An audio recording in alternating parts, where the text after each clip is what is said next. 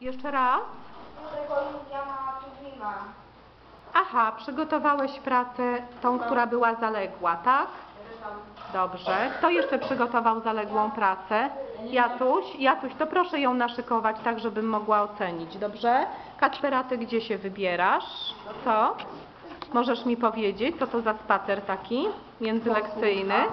A, słuchawki, ale ja myślę, że nie będą ci, Kacper, potrzebne. Tak? A dlaczego Daniel się schował za monitorem? Daniel... Nagrywa. Aha, rozumiem.